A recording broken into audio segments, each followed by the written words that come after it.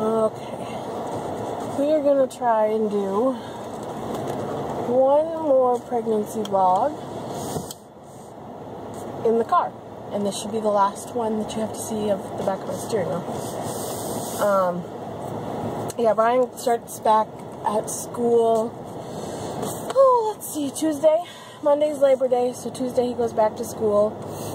And I'll be able to finally do some vlogs somewhere other than my car. So this will be for weeks 15 and 16, even though I'm 17 weeks tomorrow. I'm trying to get out of the Walmart parking lot, so please bear with me. Oh, let's see. Well, we might as well start with what just happened in Walmart and the whole reason I'm leaving. Holy cow. I was walking around and I was trying to get some grocery shopping done and trying to pick up a few last minute um, school supplies for Brian. They never really gave us a list of what they needed or anything, and I guess I'll find out, you know, when he actually goes to school on Tuesday, what he needs from each specific teacher. But I, that's one of those people, I prefer to have a list, I prefer to have a plan, and it kind of drives me nuts that I have nothing to go off of. So it's like, oh, let's just get generic notebooks and pencils and crap. I'm trying to find that stuff. Well, of course, Walmart has like no pencils. If you want pretty colored mechanical pencils, fine. If you want like neon colored pencils, fine. If you want flipping unicorns, fine. But like just your basic regular number two yellow pencils, apparently those are gone. I don't know where the hell those are. So I ran all over the store trying to find these darn pencils. Couldn't find the pencils. Couldn't find any just regular folders. Managed to find one box of, you know, your basic 17 cent, one subject notebook that we all got when we were that age, you know, just because you needed a notebook and it was dirt ass cheap. So I got pens. Of course, he wanted blue ink and all they had was black. So I went all over the store looking for the blue ink. And Wyatt has gotten really awful at shopping trips. He used to be really good. He'd just sit in the seat and he'd be fine, no big deal. He'd drink his little juice or water and he'd eat his little snack and everything would be good. He's turned into a royal pain in the butt. He wants to walk everywhere, but it's just not really like he, he's too busy looking at things and grabbing things he shouldn't instead of focusing on following me. And I want to get from point A to point B and I want to do it relatively quickly. And he's tiddlywinking along behind me which you'll probably hear him in the background because he is in the back seat with me. Um, see there's what so yeah I was getting frustrated with him and I was trying to use that little machine for um, Jeez, kid. The machine that you use to pick out the rear windshield wiper for my Explorer. So I was trying to do that, and I had my arm over and kind of hooked into the cart. Well, he grabs the cart and yanks it, and I told him to stop, and so he starts pushing it. Well, then he's pushing it, and it's like twisting my arm, but I can't. My left arm's hooked in the cart, he's down below me. My right arm, I'm having trouble reaching around and grabbing him. I'm telling him to knock it off. He's pushing harder, so I finally grab his arm and yank, and I'm sure it looked like, you know, horrible, evil, abusive mommy's beating up on her kid, but really it was a matter of, oh my god, why you are hurting me, you're gonna break my arm, please stop. So it's just, it was a lot of stuff like that, and then when I was trying to find the, the bulb for my, my blinkers out, to my turn signals out too, so I was trying to find the bulb for that, and he is looking at the keychains, which is fine, whatever. But he comes over and suddenly he's got this SpongeBob keychain, but there's like no wrapper or anything on it. And I look behind him. Well, he ripped it out of the package and dropped the package behind him. Oh my god, my child is stealing SpongeBob. Awesome.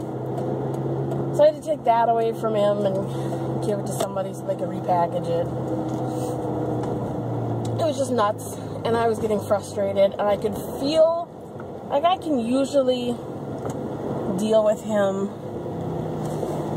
It's kind of frustrating to try and deal with him and shop and whatever, but you know, I'm used to it. Two years with this kid, I'm used to it.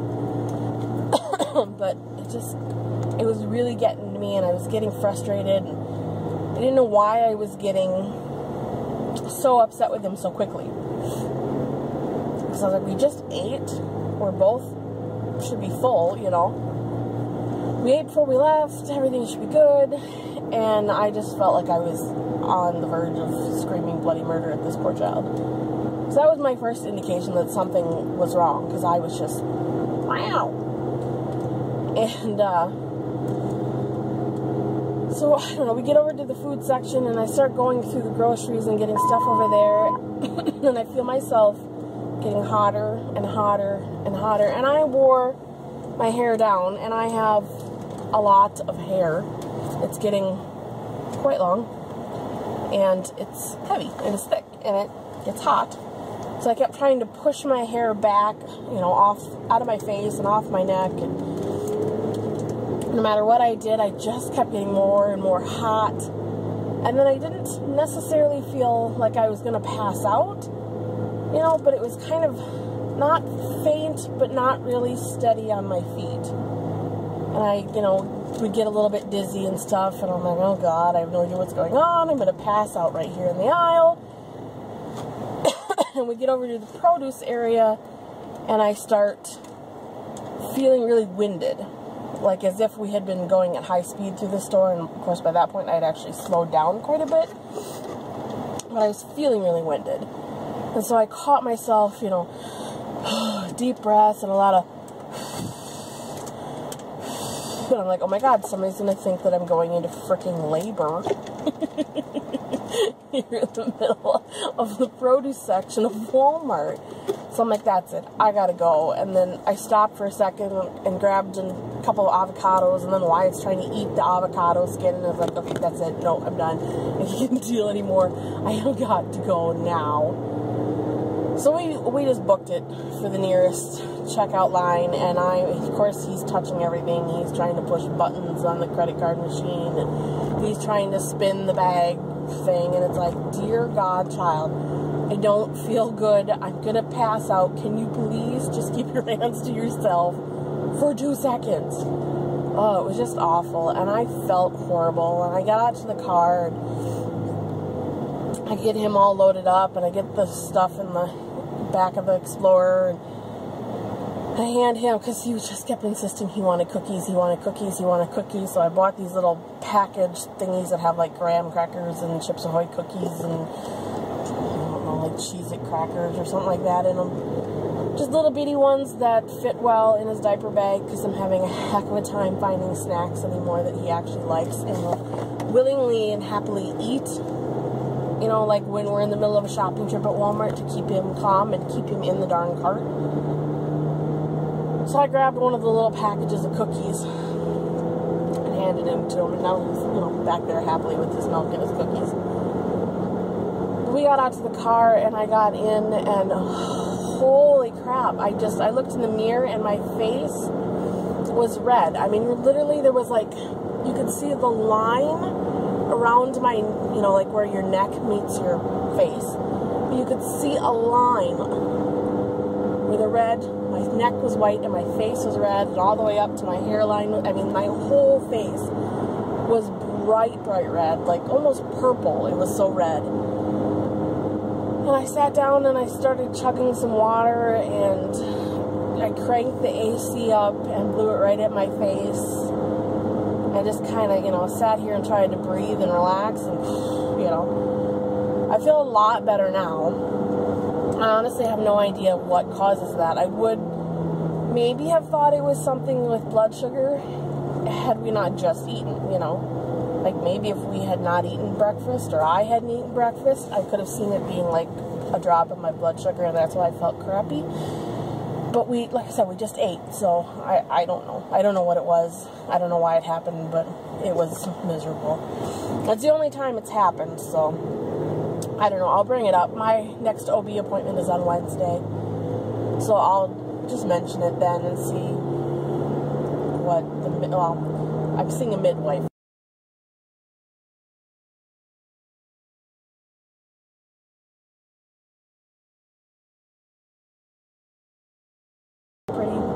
Common, but you know, I'll ask anyway. But other than that, I've been having a lot of headaches, and I don't have my bracelet on today. The bracelet, the um, Baltic Amber, has been helping.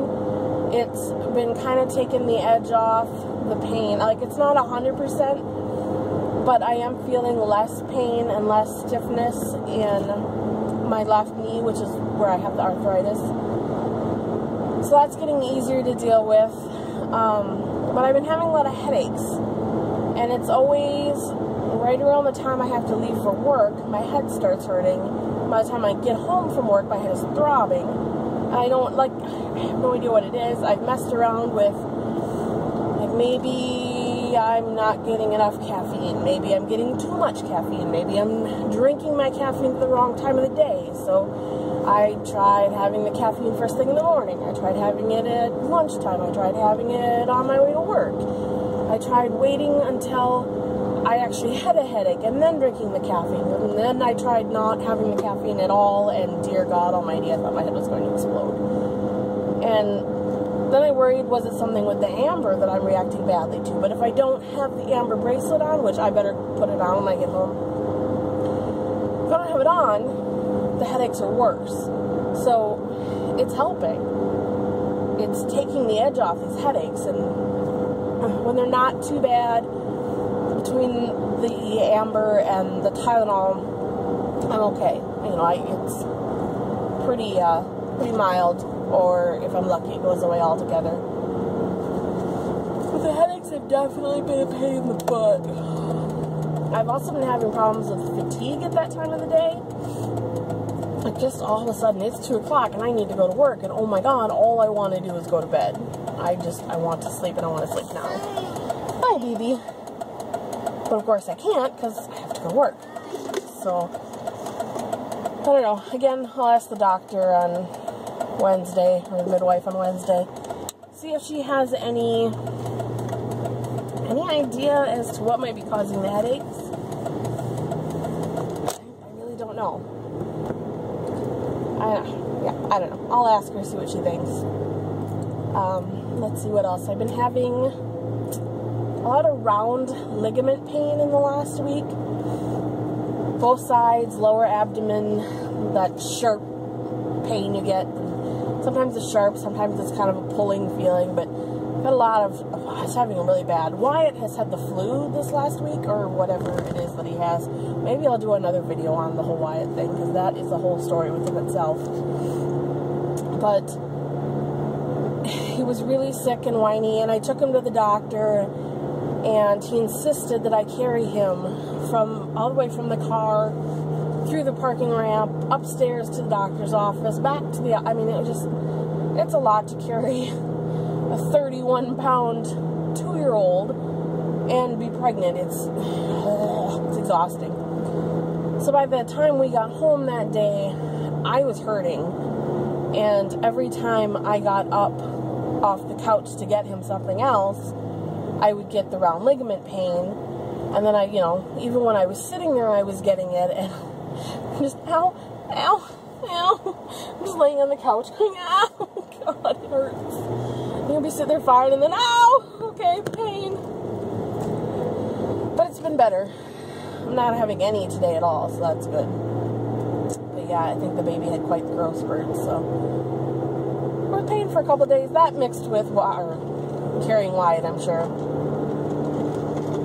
made for a really rough day when it came to that. Baby has been very, very active, and I can feel that my uterus is up higher. Like, I seriously, this last week, this child has had a massive growth spurt. And I can feel that the uterus is up higher. And I think the baby must have flipped over. Because, at least when I was there at 12 weeks for my uh, NT scan, the baby was sitting up in the breech position, which, what's new? Like, that's what my kids do all the time. But I feel like maybe sometime yesterday the baby flipped over because I'm feeling a lot of movement and it's like right at my belly button or right below my belly button and it feels like a lot of little kicks there. So I kind of think maybe the baby flipped over and I'm just getting the crap kicked out of my belly button now. But you know, at this at this size, they flip flop all over the place, so it doesn't really mean anything. Although I do have to bring it up to my doctor. What if I end up with a baby that decides to be head down this time? Is there any chance of a VBAC, or should I just not even? Just not. I mean, part of me thinks, why even bother thinking about it? Because the baby will probably be breached, and even if the baby isn't breached, there's a good chance they're going to tell you, let's just go with the C-section and be safe and it may just be the safer route. I don't know. It's it's it's hard. I'm not not getting my hopes up at all for a VBAC after two cesareans. I know there are some hospitals that won't even do it after one cesarean, and I don't know what the rule is at my hospital. So you know, it's kind of one of those. we've got one of the best hospitals in the country that we're going to for prenatal care and you know, a top-notch NICU, and so I should feel safe trying something like that there, but I just can't imagine something going wrong and then being like, God, I'm a total ass. I should have just had a C-section, and baby and I would be fine. You know, so I, I don't know. I have no idea. Hard decisions to make before they even come out. It's hard to decide how they come out sometimes. So I don't know. I guess we'll see. Not too many other symptoms really. Um, nausea's pretty much gone. Like I said, the fatigue is usually only in the afternoons. Oh, other than that, I'm feeling pretty decent.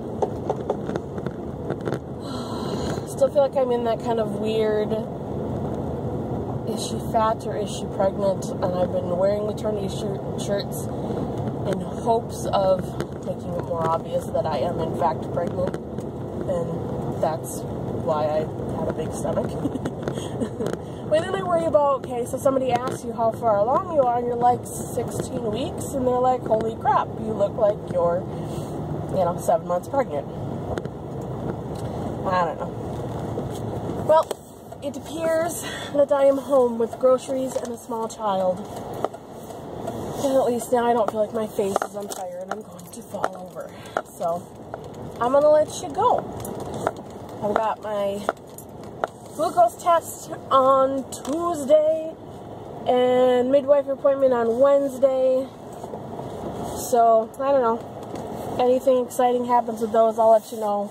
Pretty sure I'm going to fail the one hour glucose just like I do every other time. So, I kind of don't even know why we're doing the one hour and not just going straight for the three hour right now.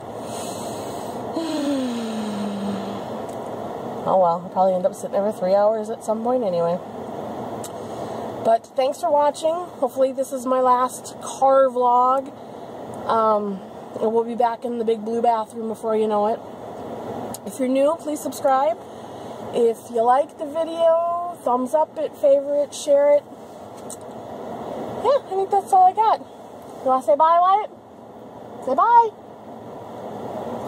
Basically have him just staring at me with his mouth gaping open like, what the heck are you talking about, Mom? Alright, have a good day and thanks for watching. Bye.